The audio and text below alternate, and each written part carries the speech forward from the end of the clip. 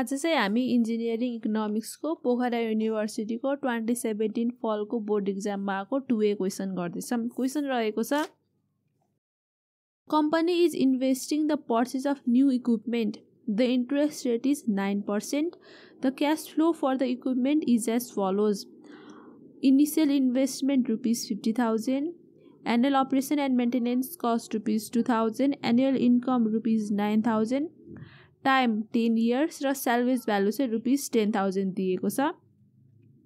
र सोधेको छ कि यो investment is this investment worth undertaking भनेर? र सेकेन्डमा चाहिँ what should be the minimum annual benefit for marking it a worthy investment at nine percent of return? So हामीहरूलाई चाहिँ यो क्वेसनमा चाहिँ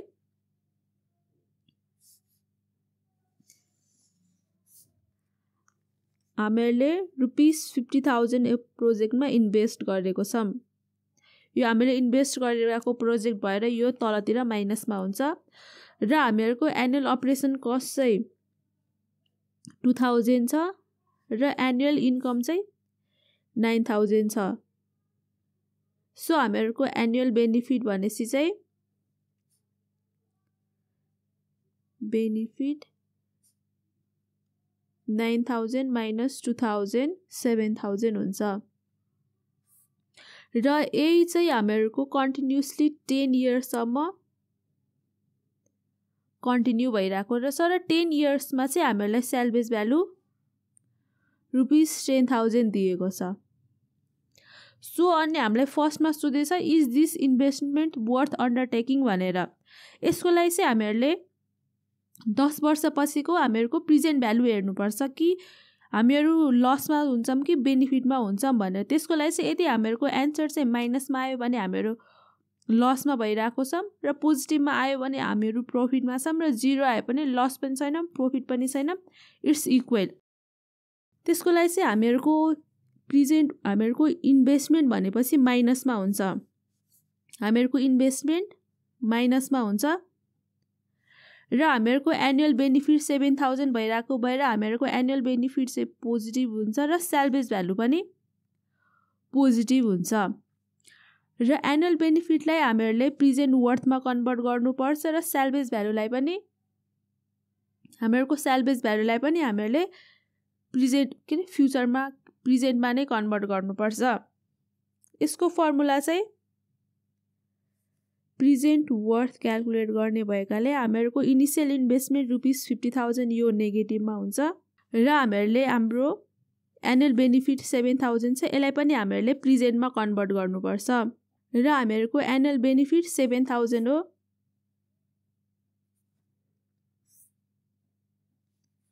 र एनुअल बेनिफिटलाई पनि हामीहरूले प्रेजेन्टमा लगाउनु पर्नेछ यसको for present equals to A one plus आईको power N minus one by I one plus I.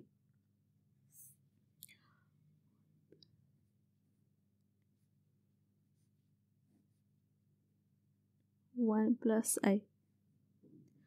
र हामीहरूले हाम्रो फ्युचरलाई पनि प्रेजेन्टमा लाग्नुपर्छ र future equals to present one plus आईको power N. भनेपछि फ्युचर बाई वान प्लस आईको पावर यान। सो अब हामीले आई र यानको भ्यालु सब्सटिट्युट गर्नुपर्छ। Fifty thousand plus seven thousand one plus I हाम्रो इन्ट्रेस्ट दिएको छ नाइन पर्सेन्ट। हाम्रो time ten years minus one by interest zero point zero nine. One plus zero zero nine को पावर टेन प्लस हमीर हामीहरूको future salvage value भनेको फ्युचरमा हुन्छ so future ten thousand one plus I interest चाहिँ zero point zero नाइनको power ten. So अब यो क्यालकुलेट गरौँ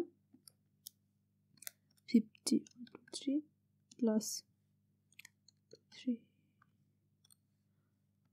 one plus zero point zero नाइनको power ten minus one zero point zero nine one plus zero point zero नाइनको power ten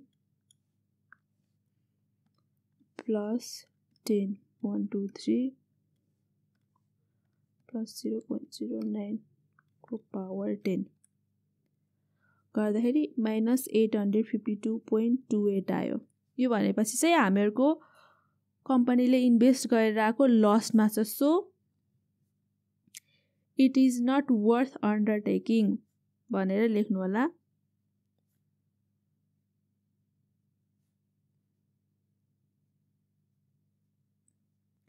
What should be the minimum annual benefit for marking it a worthy investment at nine percent rate of return अब हामीहरूले चाहिँ annual benefit निकालेर यो nine percent rate of रिटर्नमा यो worthy investment छ कि नै भनेर निकाल्नुपर्छ।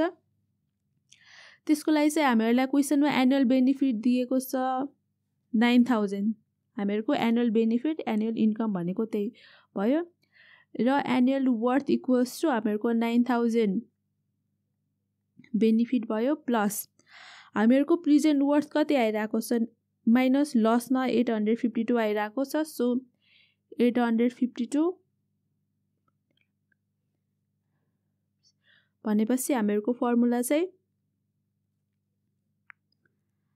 आई वान प्लस आईको power N one plus आईको power N minus one nine thousand plus eight hundred fifty two I interest rate nine percent one plus zero point zero नाइनको power N ten years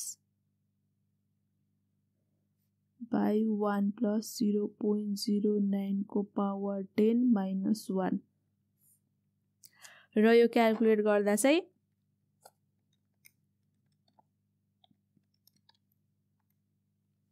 zero point zero nine one plus zero point zero नाइनको power ten one plus zero point zero नाइनको power ten minus one यो calculate गरेर solve गर्दाखेरि चाहिँ हाम्रो annual worth चाहिँ nine thousand one hundred thirty two point seven five eight आइरहेको छ। So हामीहरूको minimum annual benefit यसलाई चाहिँ वर्थी प्र वर्थी इन्भेस्टमेन्ट गर्नलाई चाहिँ हामीहरूको nine thousand one hundred thirty two हुन्छ। सो आजलाई यति नै। थ्याङ्क यू सो केही कन्फ्युजन भयो भने तल कमेन्ट गर्नु होला र हाम्रो च्यानललाई लाइक र सब्सक्राइब गर्न नबिर्सिनु होला थ्याङ्क यू